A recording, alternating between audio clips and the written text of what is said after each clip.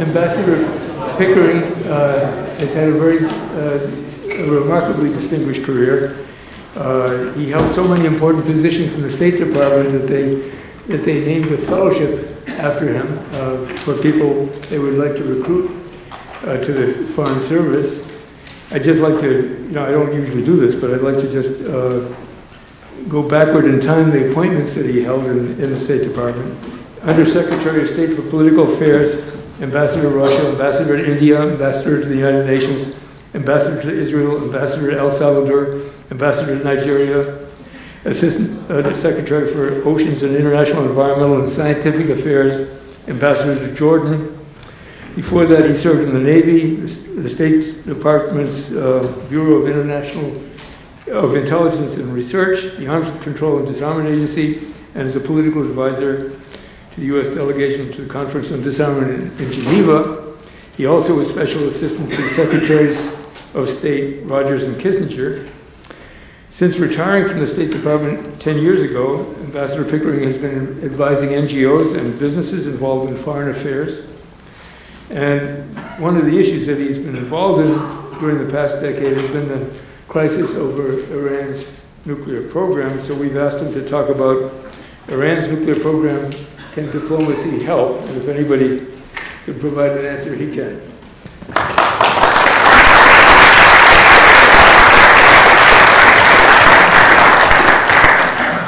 Thank you, Frank, very much. I'm pleased and honored to be invited to come to Princeton. It isn't always often that one gets invitations uh, to come here and to see the students and address a group like this.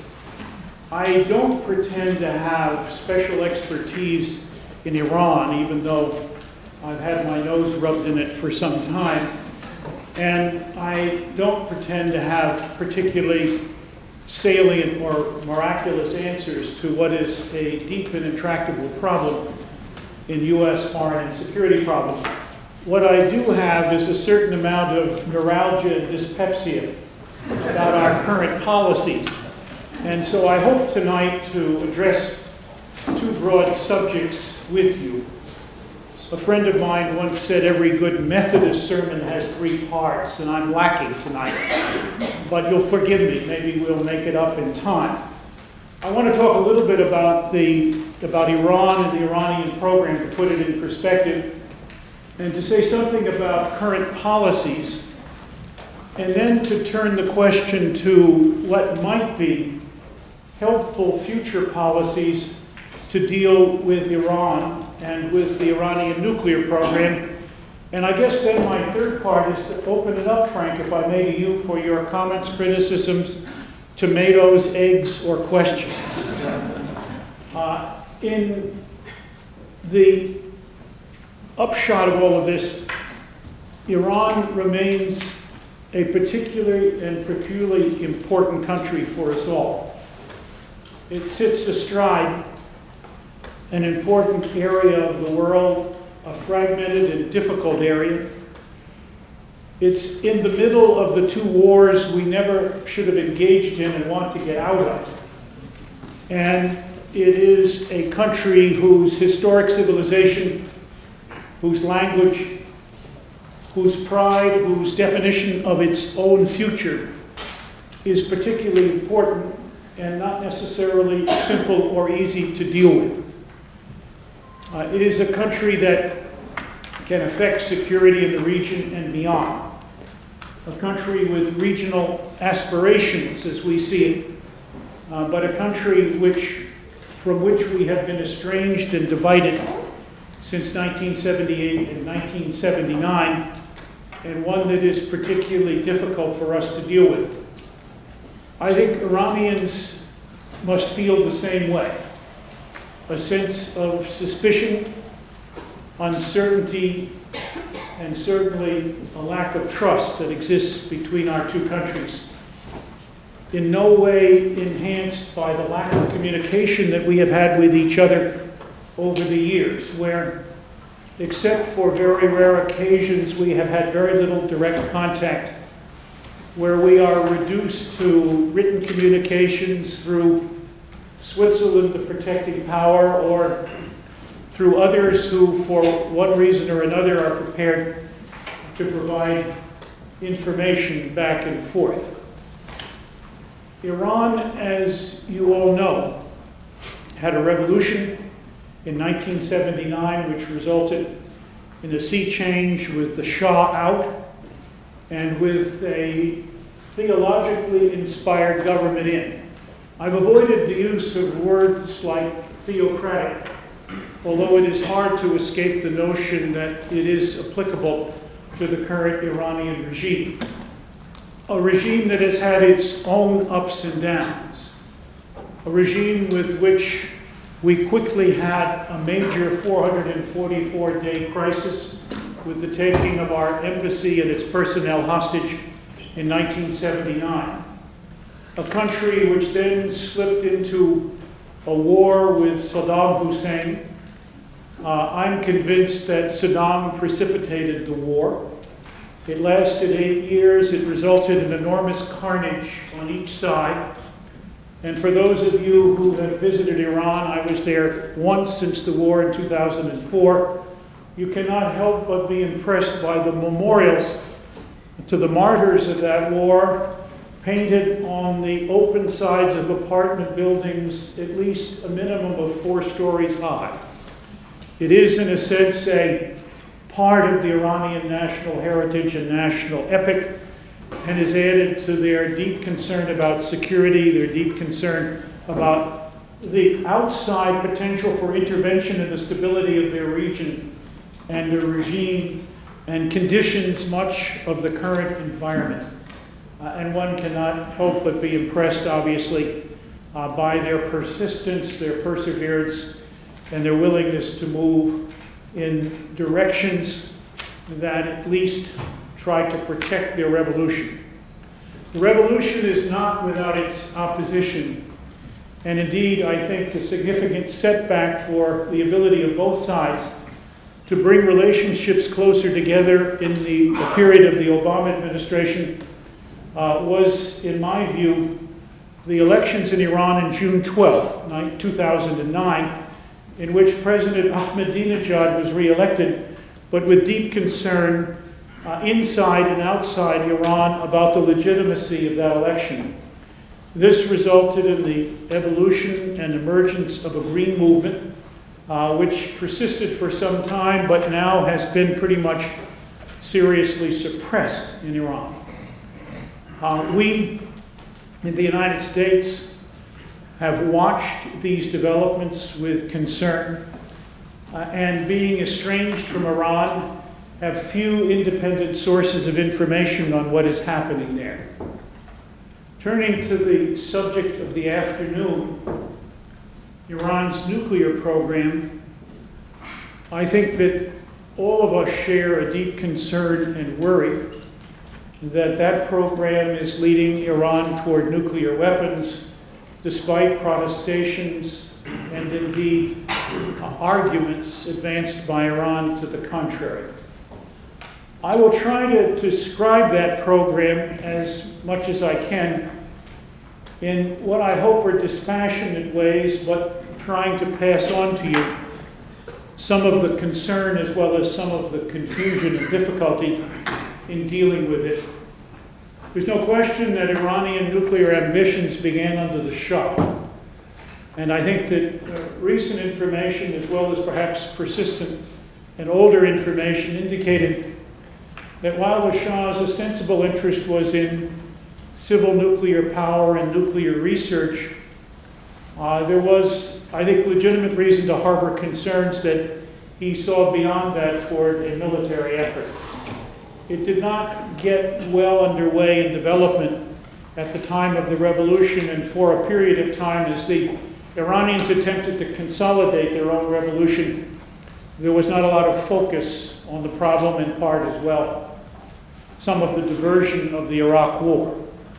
But in addition to that, some of the fact that Iraq was itself seen as deeply engaged in developing a military nuclear program for itself and deep concern about Saddam Hussein obviously had its effect on Iran. Uh, Iran emphasized in its program uh, the development of a capacity to use nuclear power to produce electricity often argued against on the western side by the fact that it had one of the world's largest oil and gas reserves, and as a result, the notion that it had to resort uh, to nuclear power to meet its needs seemed to be, in effect, a cover for a program to obtain and develop capabilities in the nuclear area for purposes beyond civilian use. Uh, those were answered by Iran in its own way by saying that oil and gas were valuable commodities. It needed the opportunity to develop alternative sources of power to extend its capacity to produce oil and gas for as long as possible. This was not something that was totally in Iran's interest, but in the interest of the international community to continue to have access to this scarce resource. And obviously, anybody who follows oil prices know the longer you can keep it in the ground, generally speaking, the more valuable the resource is when you get it out. Uh, we also, I think, need to note that Iran, as it developed its nuclear power, ran into great difficulties. The United States and others were directly opposed. I can recall in my service in Moscow in the early 1990s, the U.S. position was that Iran should not develop any nuclear capacity, in part predicated on the notion that we had estranged and difficult relations with the Iranian leadership, that the Iranian leadership did not have the best interests of us or perhaps even the region at heart. Uh, it was untrustworthy and moving in a program that allowed it an opportunity or permitted it an opportunity or gave it an opening for an opportunity to move in a military fashion would constitute an inevitable danger to us, to our friends in the Middle East, and to the world community. Some of these ideas continue obviously to prevail, and it's one of the reasons why we're here discussing the question this afternoon. Iran proceeded through a series of developments. It contracted with Germany for a large power reactor on the Persian Gulf. Uh, that was set back by pressure from the United States and the West.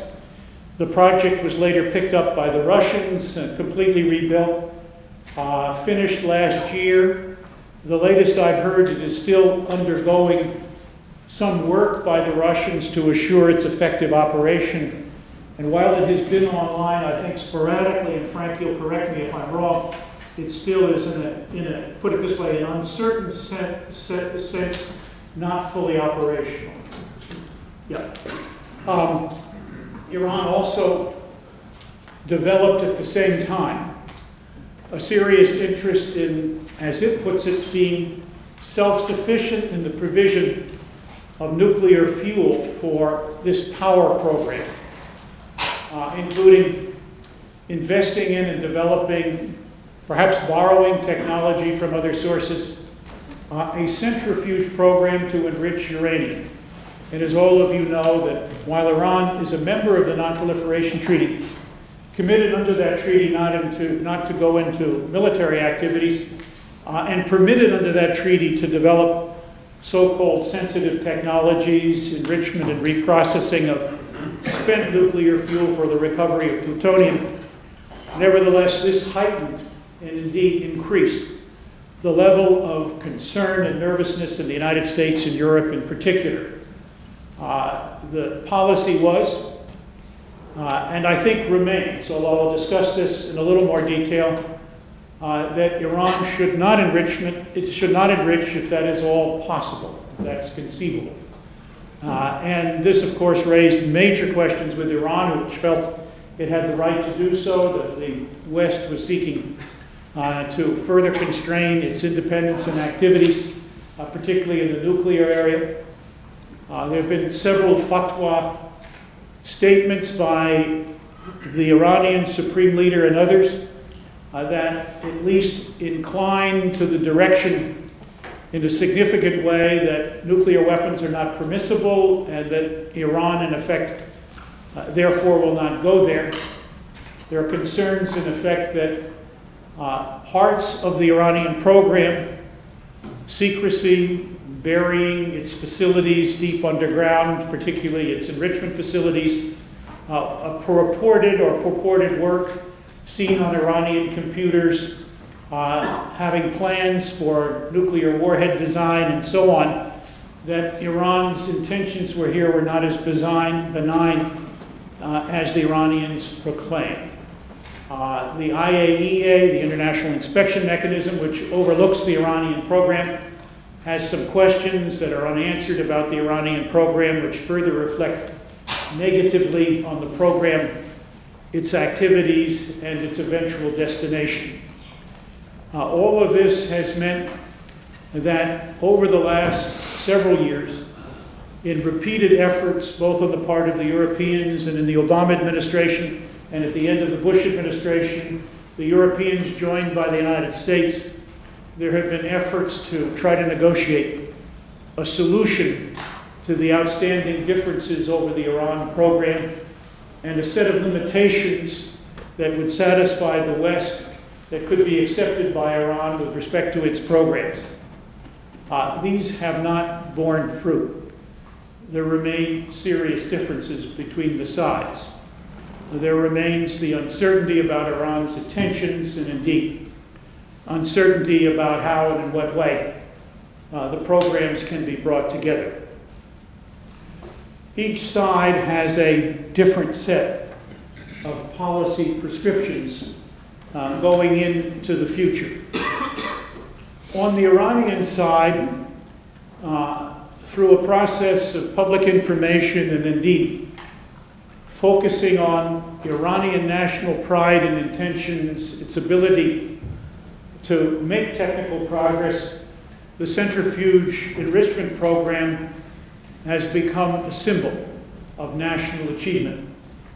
And in that sense, from the Iranian perspective, an irreversible symbol of national achievement. On the US and Western side, there has been deep and ongoing concern that the enrichment program uh, can lead uh, to the capacity to move from the low level of enrichment required for civil reactors to the higher levels available uh, for nuclear weapons and usable in nuclear weapons. And indeed, as a side issue, the Iranians have, as a result of support from the United States during the period of Shah, a research reactor which is currently being used to produce medical isotopes, uh, which uh, requires, in its present configuration, uranium at a higher level of enrichment, 20% uh, which is another big jump on the way to material that might be useful in a bomb.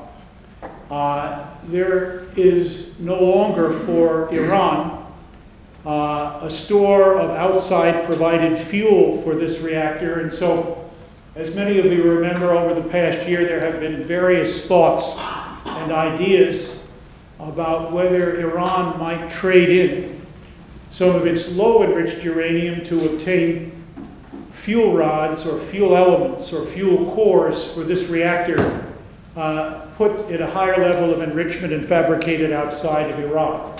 They have not borne fruit, but within recent days, Iran has once again opened the possibility that since it was enriching to 20% with the potential of providing uh, fuel for this research reactor, uh, that it would discontinue that and perhaps cease if it could obtain the equivalent fuel from Western sources, uh, an opportunity perhaps for further investigation.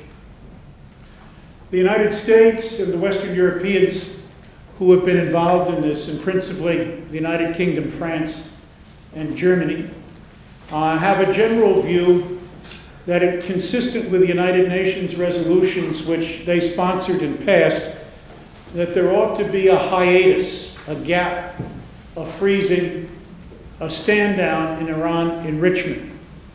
And that at the same time, while on the part of the United States at least, there was a willingness to speak to Iran about all of the outstanding issues between the United States and Iran, uh, there needed to be a firm commitment in any such conversations that the nuclear issue would be a priority a major focus of bilateral attention. Uh, This brings us to where we are today.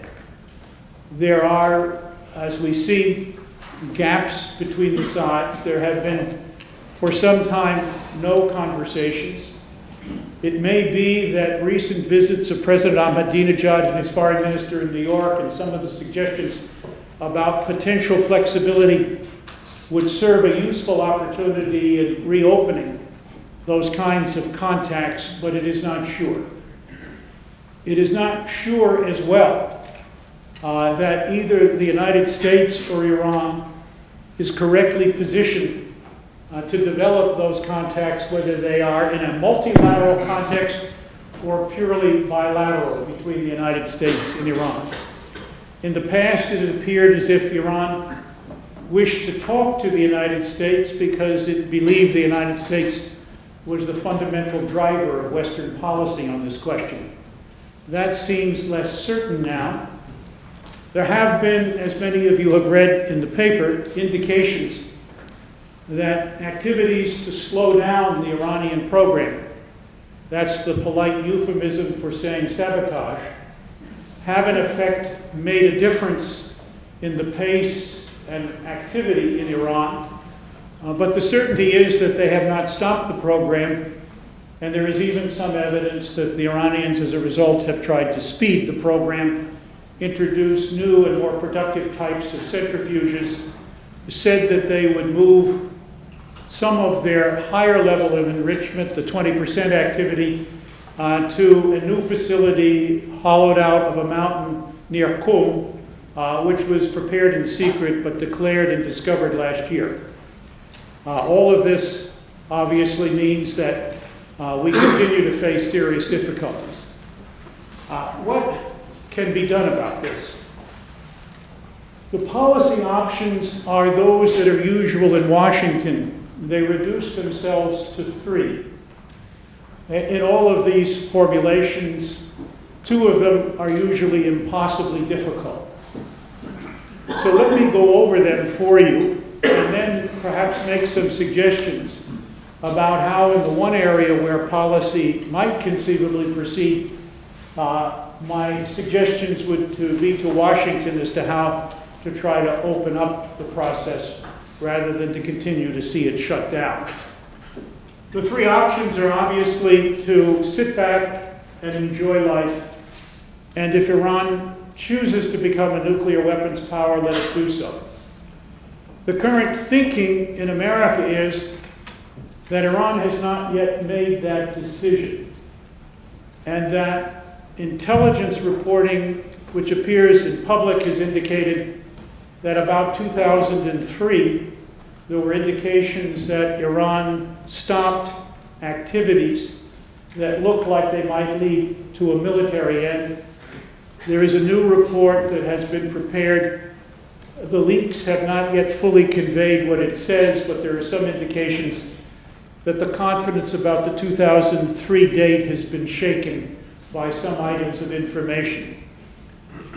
The United States, uh, in my view, uh, is not wise in accepting the idea that there is nothing it can do and Iran should be allowed to proceed in whatever direction it wishes to go, up to and including what I think is a general consensus that Iran would like to put itself in a position, even though it hasn't decided uh, to manufacture a nuclear weapon, to have everything in preparation ready to be able to do so at short notice, a kind of breakout scenario.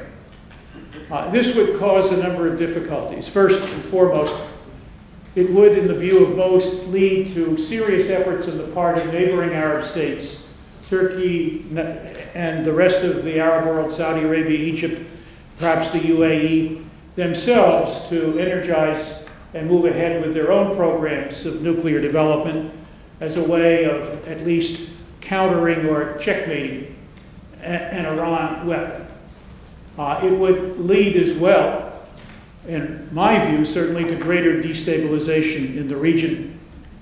And it would certainly work against the long term professed goal of President Obama uh, to move himself and the world in the direction of eliminating nuclear weapons if that can feasibly be done. Uh, it would uh, certainly represent an abandonment of a policy that we have pursued quite vigorously and the president's statement that he isn't prepared to permit Iran to have a nuclear weapon. Uh, the second possibility for a policy is military action. Many have commented and studied it. It's worth the lecture on its own. I won't delve into all of the issues, but I think I could reduce the comment on military action to the fact that there are only two principal problems with it. One is that given an uncertainty about the target set and what is actually happening in Iran, it is unlikely to solve the problem. It may well set things back for a while. And for some, including Israel, that may be an acceptable alternative. Uh, but it is not certain that it will happen. And the certainty that it might actually be effective would be increased only if we entered Iran on land and took control of the territory. And the enthusiasm in the United States for a third war in this very difficult region as we try to extract ourselves from two uh, under the shadow, obviously, of an increasing debt burden is very limited. The second principal difficulty is that it puts Iran in an extremely advantageous position to repost. Uh, my deep concern would be that Iran would say an unprovoked attack gives us not only the right, but the necessity to produce a nuclear weapon. Beyond that, there are all sorts of asymmetrical responses against either the United States or Israel, the two presumed potential states that would use military force against an Iranian program. Uh, attacks against Israel by Hezbollah, by Hamas, uh, terrorist attacks against the U.S. and facilities around the world. Uh, deep concern, certainly on my part and by many others, that it would deeply antagonize the Islamic world to have an unprovoked attack because uh, such an attack would not have uh, international legitimacy or full backing against an Islamic state, uh, presumably with not a perfect proof that it had developed or was ready to break out to develop a nuclear weapon, and so on. So you're only limited by your imagination of difficulties. Uh, the risks seem far to outweigh the potential benefits, although there are differences between the U.S. and Israel, in my view, on that particular subject. Um, the third uh, is the old one, uh, diplomacy. Uh, diplomacy, in some ways, looks like a very hard slog under these circumstances. And I think it is. But I think there are things that can be done, and I'll mention those in a few minutes, which could provide the potential for a new opening uh, if we were prepared uh, to take the steps and indeed some of the risks involved in doing so. Uh, the first element of a new diplomatic approach, in my view, would be one that I hinted at earlier, that we should be prepared to propose to Iran that we were willing to discuss all subjects that either side wanted to put on the table if they were willing to do so. And uh, while we would not insist that nuclear be the first subject, it had certainly to be included in the corpus of subjects to be addressed. Secondly, with respect to the nuclear issue itself, it has been long my view shared with others uh, that we should accept Iran's right to enrich uranium uh, to levels consistent with civil nuclear power needs, but under full international inspection and in addition uh, with a clear opening for multilateral participation in the Iranian nuclear enrichment program to provide a greater degree of transparency. And in return for that particular step, which is seemingly very important to Iran, we ought to ask Iran to accept a very broad gauged international inspection and monitoring approach, including, as many of you know, the additional protocol to the IAEA, which presents a possibility of much wider access, as well as additional steps coming out of our experience with Iraq and out of recent research on inspection and monitoring techniques, uh, which would provide us with the greatest capacity to assure ourselves that there was no diversion of Iranian activities in uranium enrichment or indeed the handling of spent fuels should that become an issue, and that we had the greatest possibility of discovering uh, and knowing about any further clandestine activities in Iran in the nuclear area. Something that I think is important because our present approach is uh, no enrichment or at least a hiatus enrichment for which we are highly unlikely to get the kind of deep and very valuable inspection approach uh, that would be part of the proposal that I made.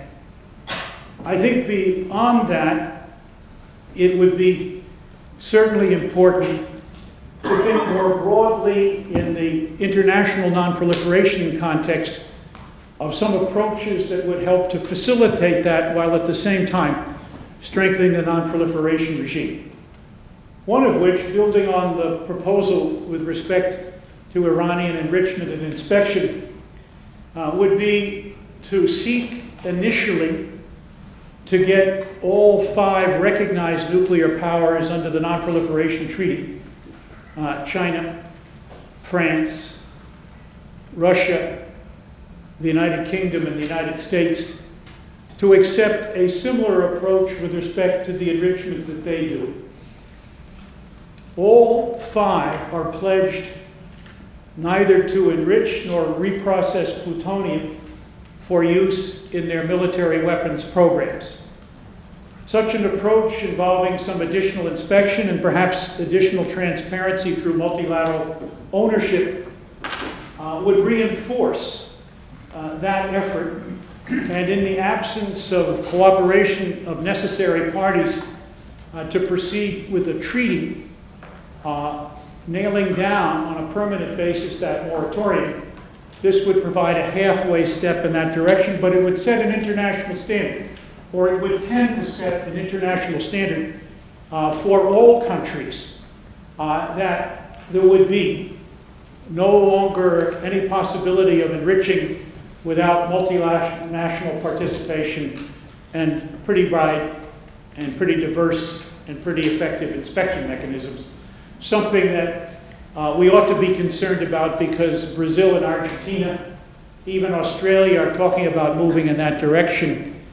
And in my view, there ought to be serious efforts to tighten up what has been called the loophole in the NPT, which permits these sensitive activities in, ways that perhaps can escape notice and control. It might also be useful that while Israel, India, and Pakistan would not immediately be members of this kind of effort, uh, they too should be pushed to come in over a period of time. It should also, in my view, be useful to think about having the United Nations Security Council, which can act on these particular questions in light of its present mandate, uh, itself, in effect, uh, to pass a resolution which might legislate these particular kinds of approaches to enrichment. I would hope that in addition to that, it would be possible to move to a phase out of reprocessing of spent fuel to recover plutonium ostensibly for use in civil power fuel for as long as such an activity was not economically competitive uh, with uranium fuel for our power programs, which seems to me to be a rather long time, and as a result removes a second area of sensitive activities that could lead to military weapons uh, from the board. And the Security Council might be asked to reinforce it. A further step in the international proliferation regime would be something that so far has escaped us, but may be conceivable and that is either an amendment to the NPT or again the use of the Security Council uh, to make it clear that any state that wishes in future to withdraw from the NPT should not have the capacity to enjoy the fruits of NPT cooperation when it was no longer a member, either through the application of special inspection mechanisms or the mandating of the shutting down facilities. Uh, this too would require serious leadership by the United States and the five permanent members of the Security Council, among others, to make happen. Uh, but it would be, I think, an important contribution to the proliferation regime, and it would be a further effort to signal to Iran that leaving the NPT and using what it derived as a member of the NPT to move in a military way uh, was opposed and may well be opposed in a serious way by the rest of the international community. Beyond that, there's been lots of discussion of other steps that might be taken, positive steps that might help build Iranian US and Iranian Western European cooperation. Uh, these could be useful in the context of broader talks. One does not want to, however, concentrate on sideshows at the expense of the major effort.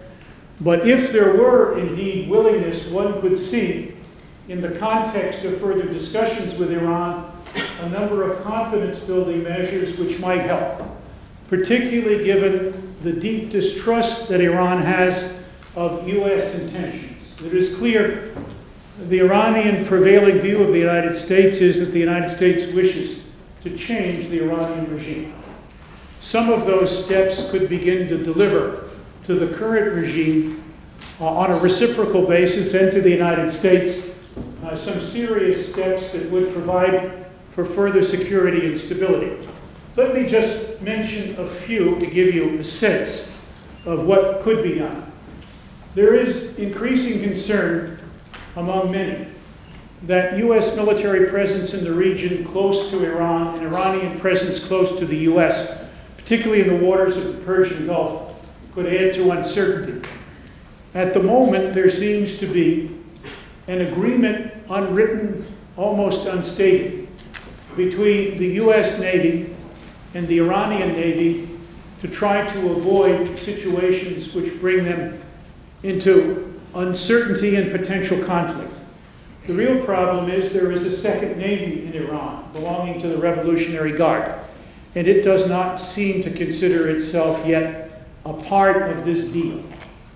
So, further arrangements such as bringing together uh, all of the Iranian players into an arrangement to avoid uh, conflict, to enhance deconfliction would be useful.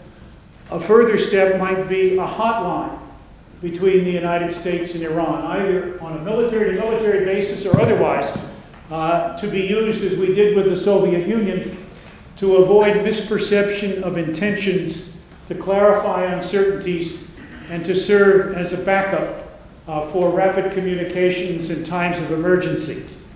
Uh, we all know that the hotline was used effectively in the 1962 Cuban Missile Crisis between the US and the Soviet Union. So it is not a new and untested possibility.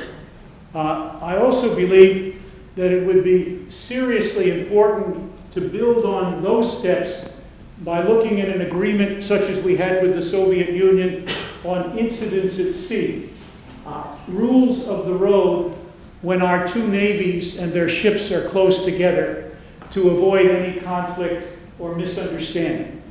Uh, those would be important, and perhaps that could be extended as long as U.S. forces in the region uh, to the border areas of Iran with Iraq and with Afghanistan. I think it would be extremely important in building relationships with Iran uh, to begin talking to Iran, particularly about efforts to curb the, curb the Afghan drug trade, which has been of serious concern to them uh, and which they feel strongly about. There is also the question of each side's ability to help each other in dealing with the question of terrorism. And there has been uncertainty on the part of the United States as to whether in fact, Iran has used its relationships or presumed relationships with Al Qaeda uh, against U.S. interests, and it could be helpful to clarify that. I think there are other questions uh, that could be dealt with in the confidence building regimes that we were talking about here. Some of those uh, would be areas of future cooperation.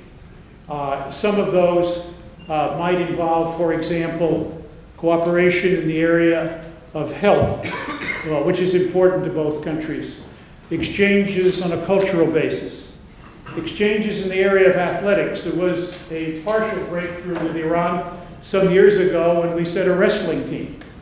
Uh, maybe not the most appropriate notion for improving relations, but the Iranians enjoy wrestling and find it interesting. Uh, and there are many others that one can think of. Language students, exchange of graduate students, many things that could be built up. The Iranians have a very strong interest uh, in having direct flights uh, from Tehran to the United States. Uh, having spent some time in the aviation industry, there is a clever way to begin this. Direct flights in the aviation industries are those that bear the same number. And it is entirely conceivable that one could have a foreign airline that could fly from Tehran to their own capital and from their own capital to Washington or New York under the same number and begin to meet the requirement for a direct flight. Perhaps our friends in Qatar, who already do this, just change the flight numbers. That would be very easy to accomplish. It would not bring Iranian planes into U.S. airspace or American planes into Iranian airspace. Um, but it would move to deal with something the Iranians continue to emphasize to us as important to them. Of course, it then leads to the very interesting question of what about visas? If you can't get a visa in Tehran, what good is a direct flight? And so maybe then we could open the possibility of issuing visas in Tehran. The Iranians issue visas in Washington. Uh, that would, in our requirements, have to have an American presence in Tehran. Uh, and the Iranians have said to me that since all the people who issue visas in Washington are dual citizens of the U.S. and Iran, they would like to have real Iranians in Washington. So you can see how some of these things could build, small as they are, and move in a more practical way uh, to bring about progress. Uh, there are numbers of other questions. I won't bore you with them now. The point is that confidence building measures, if handled well, could serve to reinforce confidence and build trust, which is entirely lacking at the present time, because it would represent both performance and recognition that we are dealing with the existing government is something that would serve at least to argue against the notion that we seek their replacement. Finally, we need long-term objectives.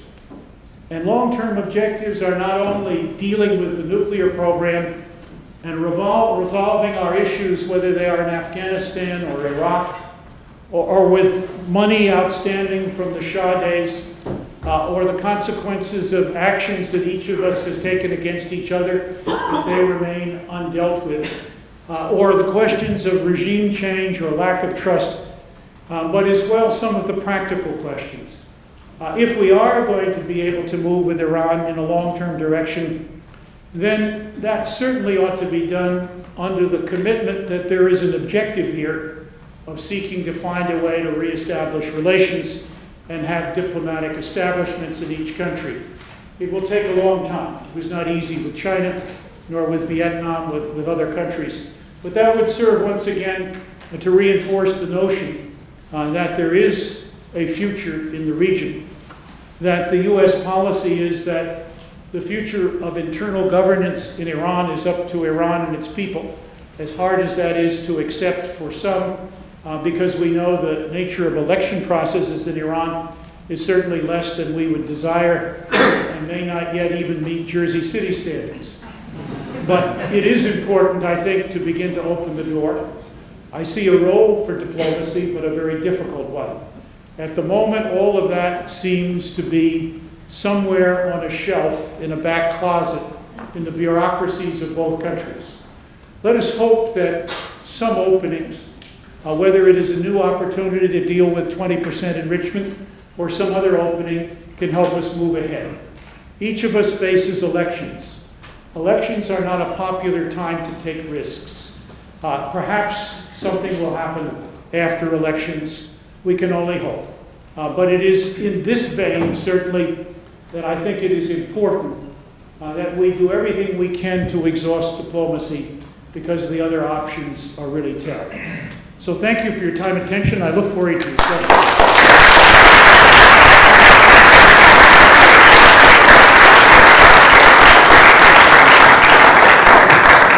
There is, there is some time for questions. if, uh, Sure. Unless you have some real ringers you want to throw. No, no, I, I, uh, Maybe we've bored everybody we don't want. it's all clear. Please. Thank you very much for a very impressive speech, uh, Ambassador. I would like to ask you about um, two instances which show that not only the United States has uh, vested interest in dealing with the um, Iranian nuclear uh, issue. Just recently, Prince Turki Al Faisal uh, gave uh, a powerful argument, you do know it, um, about the Saudi uh, position uh, towards Iran and uh, not only towards Iran but also towards Israel and it uh, took on the whole regional dimension. And in June, we had uh, Sergei Lavrov, uh, who had his own um, ideas. And uh, dealing with the uh, Middle East at large, um, I uh, obviously am confronted frequently with the notion that uh, the um, traditional perspective of American leadership in this region is, um, shall I say, challenged at that point. So that means implicitly um, regional actors like Saudi Arabia, but also another P5 like the uh, like Russia might have their uh, might see uh, possibilities to act more its. How would you put this into? Well, I think that you're right, and I think we've already seen one example of that. I didn't raise it in my discussion, but the Russians, as you know, a month or so ago, made a proposal to Iran, which appears to be a step-by-step process that, according to my information, the step-by-step aspect of the process has found some interest in Washington. The real difficulty has been that the steps have been they move on the nuclear program and we take off sanctions. And that the Russian proposal, not a shock to anybody who's dealt with Russia, is very heavy on sanctions removal at the front end and very light on real movement until the back end. Uh, but one hopes that maybe there is something there to work with. Uh, grist for the mill, an opportunity and an opening. Uh, the Russians know very well that the U.S. Uh, is not happy with the details, even if the concept is appealing. So that provides an opening there that might be valuable. With respect to the broader program, Secretary Powell, as you know, the broader region, the Arab-Israeli question, Secretary Powell adopted the notion that the quartet, uh, the U.S., Russia, the UN, and the EU, could be very useful in facilitating the process of moving ahead.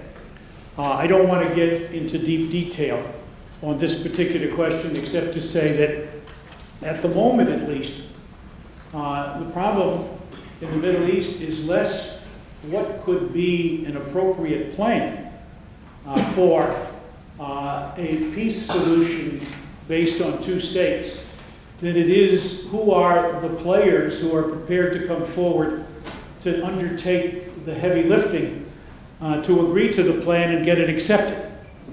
And to some extent, uh, the United States, which has been seen as basically the facilitator and indeed the operator of heavy lifting in the Middle East, is content at the moment uh, to sit quietly by uh, while the intransigence prevails. Uh, even more than Iran, I'm convinced, as I said to friends here today, that the bicycle principle on the Arab Israeli question is still a salient problem. And the bicycle pr- pr- principle is quite simply if you're not driving forward, you're falling down. Uh, and that maintenance of the status quo is a chimera in the Arab Israeli question. It may be less of a chimera in the Iranian question, but it is at least an opportunity that things will not improve naturally of their own accord to see matters get worse. And so there is a cost in both cases, I think greater in the Arab Israeli question than in the Iranian question, but nevertheless a cost. And while we may have bought some time in the Iranian program, that too is not endless. And so I think there are arguments for moving. They don't seem at the moment, however, to be strong enough uh, to push ahead uh, with uh, the leadership of the administration in making that happen. And as you say, others may attempt to fish or play in that pond.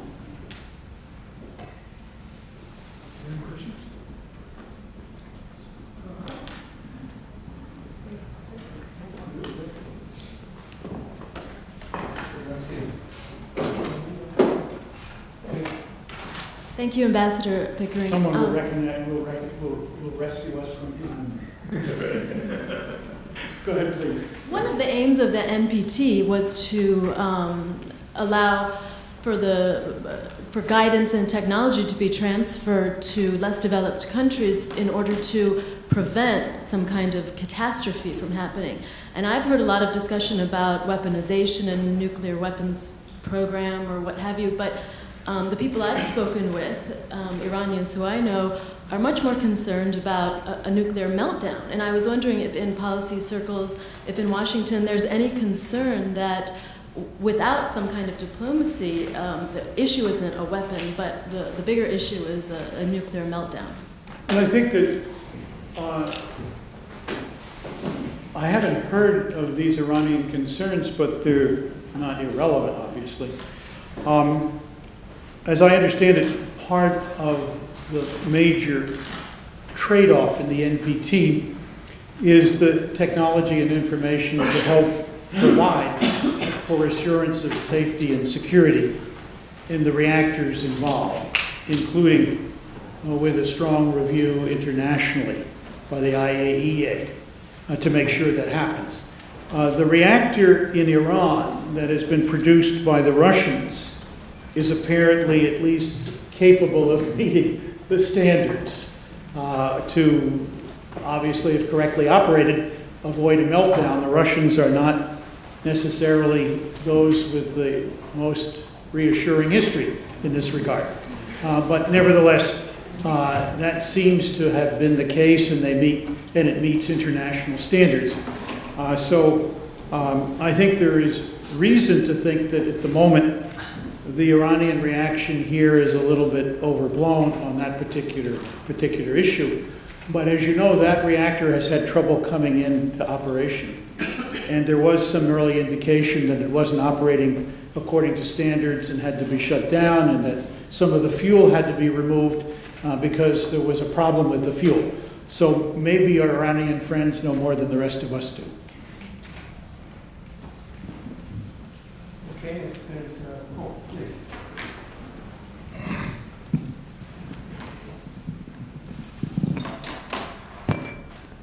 Rifkind, Oxford Research Group.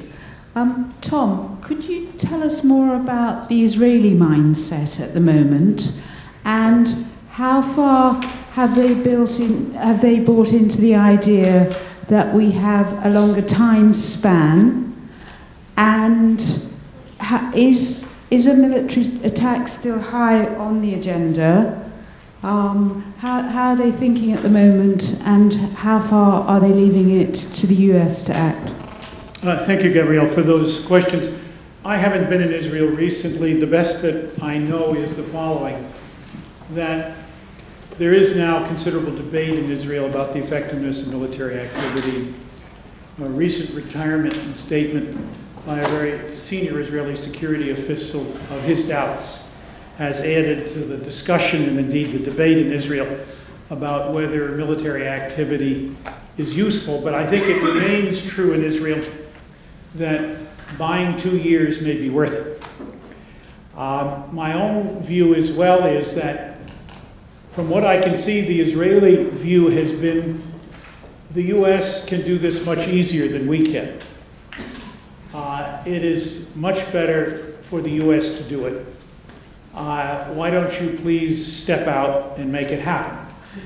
On the other hand, given some of the uncertainties about what might be the result of military action, I don't think the Israelis have taken a view other than some skeptical sense that diplomacy is impossible. Uh, and I don't feel that they have discouraged that. Uh, my feeling is that the newspapers have widely reported U.S. Israeli cooperation in the Stuxnet enterprise and perhaps in other areas which have set back the Iranian program.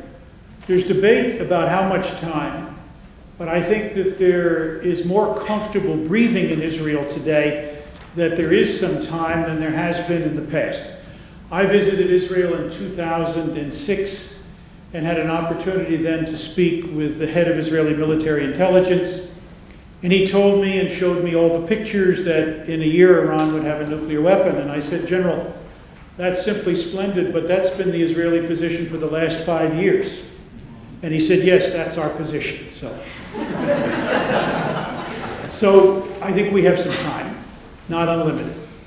I think that there is some reluctance to move in a military er, way, uh, but it might be reversed if it became apparent that Iran was on the verge of a breakout of some kind. And that's a worrying proposition.